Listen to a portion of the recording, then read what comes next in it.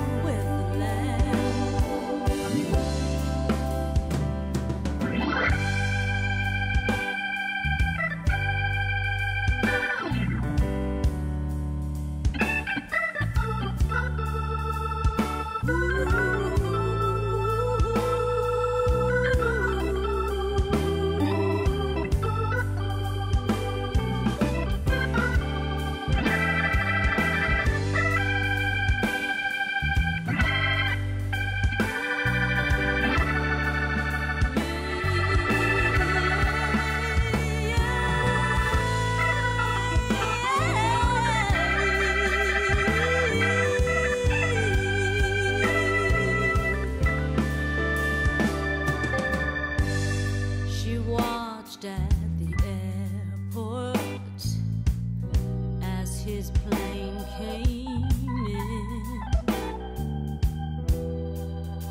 At last, she thought his war is at an end.